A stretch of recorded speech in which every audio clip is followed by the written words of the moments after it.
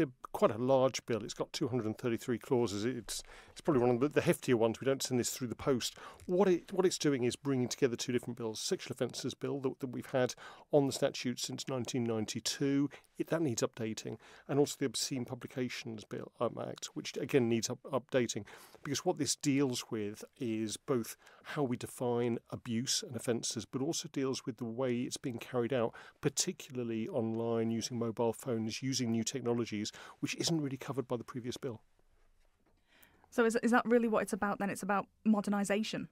It is indeed. It's about modernisation. It's about bringing um, our laws up to date.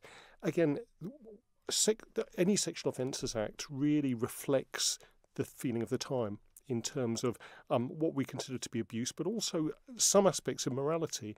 In the past, we've seen the Sexual Offences Acts outlawing homosexuality, um, being very draconian in terms of what people can and can't do. What we're now doing is is bringing forward um, a bill that I hope will resonate with Tynwald and we'll be able to define nowadays what we consider is right and wrong, what we consider we need to do as a society to protect people from some of the worst crimes going in terms of sexual offences. Now, this was something that went out to public consultation. I think it closed a little bit earlier this year.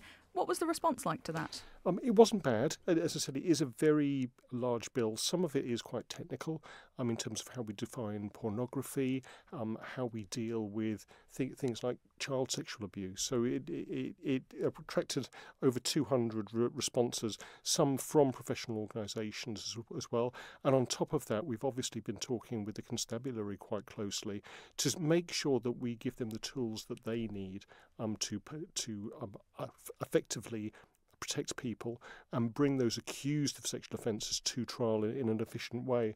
But the um, I'd, I'd, like to thank everyone who took part in the consultation. We got some really interesting um, results from that that has actually changed the bill as it's being brought forward, particularly in, in terms of issues about consent, issues um, uh, uh about how we protect people, and also anonymity in terms of criminal cases. How important is that aspect then to make sure that this bill reflects what the public wants? I think it's crucial. One of the aspects, particularly about um, sexual offences against women, is that we know that the reporting of them is quite low. It's even worse, actually, with sexual offences against men. And sometimes that's because people don't believe that they're going to be believed when they get to court, we have to make sure that people trust the system, that they trust the legislation we've got, and that they also trust that if they report a crime to the police, it will be taken through the courts and that they will be treated in the right way. So, anonymity for victims and witnesses in terms of trials is extremely important. Also, with, within this legislation, we've got anonymity for the person accused of a particular offence as well, and the ability to have that. So, all these are trying to make sure that people, if they are victims of, of sexual abuse, victims of crime, they've got actually a trust in the system to be able to deliver that justice that they seek. You mentioned a little earlier that this this kind of bill tends to be reflective of, of the time.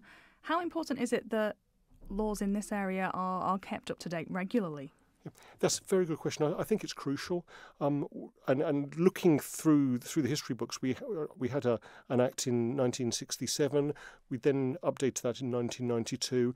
Um, in the UK, they updated it in 2003. We're, we're overdue. And one of the things about this this current administration, certainly the Minister Malarkey, is he's keen to make sure that our, our legislation is up to date, so it can actually protect people in the right way, um, but also, as I said, give the, the police and the courts the right tools to actually apply justice.